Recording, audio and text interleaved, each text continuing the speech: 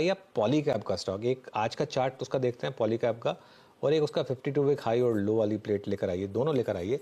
और ये देखिए, अब 52 वीक हाई के, आज का हाई कितना है पॉली पॉलीकैब का 5702 और इसका 52 वीक हाई जो दिसंबर में था, सत्तावन सौ वहाँ से ये स्टॉक करेक्ट हुआ था। एक छः महीने का चार्ट रखिए अब इसका। ये स्टॉक करेक्ट हुआ था 5733 से ऑलमोस्ट 3500 3800 तक गया था ये स्टॉक और अब देखिए स्ट्रीट का वर्डिक्ट मिल गया कि क्या स्ट्रीट का वर्डिक्ट है। एक लीप ऑफ़ फेथ कि हाँ ठीक है कुछ दिक्कत आई थी लेकिन हम आपको फिर एक बेनिफिट ऑफ़ डाउट दे रहे हैं यहाँ पर।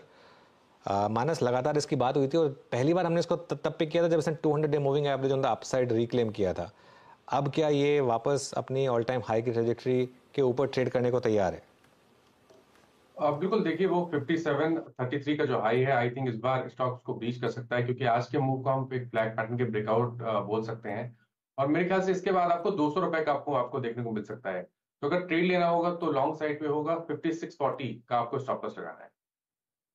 तो पॉलीकैब में एक अच्छा इंटरेस्टिंग ट्रेड तेज़ी की तरफ़ ही ये स्टॉक और अपनी चाल को मज़बूत करेगा। अच्छा बाय द वे कोशिश तो पूरी तरह से कर रहा है बिरला सॉफ्ट पॉजिटिव टेरिटरी में हम्म। आने की। अब सिर्फ़ एक परसेंट नीचे ढाई परसेंट के नुकसान के साथ कारोबार की शुरुआत हुई थी और अब हम देख रहे हैं नेशनल लेवल से थोड़ी थोड़ी करके पोजीशंस कवर हो रही हैं। गौरांग इन नंबर्स को आपने कैसे पढ़ा है और क्या रिवर्सल आ सकता है स्टॉक में? हर्षदा केवल कंपनी और परिणाम पर बात करूँगा। खरीदारी, बेचने की या बने रहने की मैं बात नहीं कर सकता क्योंकि कवरेज नहीं है। तो मेरे ख्याल से किसी भी कंपनी में एक हाँ एक तिमाही या दो तिमाही में कुछ दिक्कतें आ सकती हैं। लेकिन पिछले साल, दो साल या उससे ज़्यादा में अगर आप रुझान देखें बिरला सॉफ्ट का तो बहुत ही शानदार रहा है। और मैं ये भी मानता हूँ कि जो छोटी मझौली आईटी क्षेत्र की कंपनियाँ हैं वो शायद आपको बेहतर रुझान, आंकड़ों और निवेश में दे सकती हैं। बनस्पत के दिग्गज कंपनियाँ। दिग्गज कंपनियों में जो दिक्कत है, उसको दूर होने के लिए थोड़ा ज़्यादा समय लग सकता है। छोटी मझौली कंपनियों में मेरे ख्याल से आपको रिकवरी जो है, वो ज़्यादा तीव्र गति से आती भी दिखाई।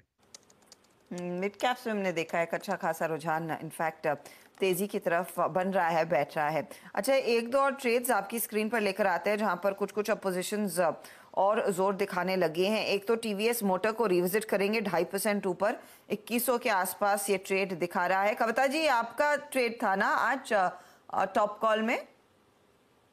या आशा जी सो उसका फ़र्स्ट टारगेट अचीव हुआ है। 2120 के टारगेट हमने दिए हैं तो ट्रेडिंग स्टॉप लॉस के साथ मेंटेन करना चाहिए। स्टॉप लॉस को ट्रेल कीजिए 2060 पर और 2120 के प्राइस टारगेट के लिए।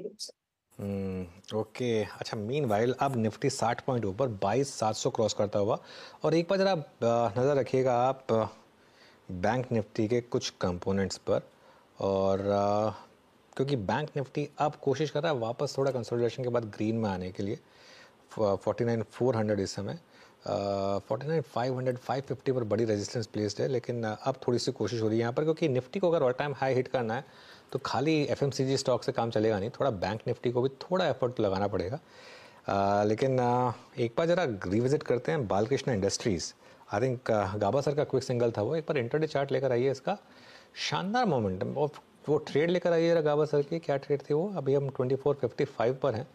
टारगेट हिट हो गया गाबा सर आपका, बालकृष्णा इंडस्ट्रीज़ का, बताइए बुक कर लें या फिर क्योंकि नौ बीस पर कॉल गई, नौ सैंतीस पर टारगेट हिट सत्ताईस मिनट में प्रॉफिट बुक करना है या कैरी करना है? फिफ्टी परसेंट बुक करना चाहिए, बाकी पर ट्रेल करना चाहिए, सिर्फ़ five rupees point stop loss ज़्यादा नहीं। Target next target Balkrishna industries का टू फोर सेवन फाइव है।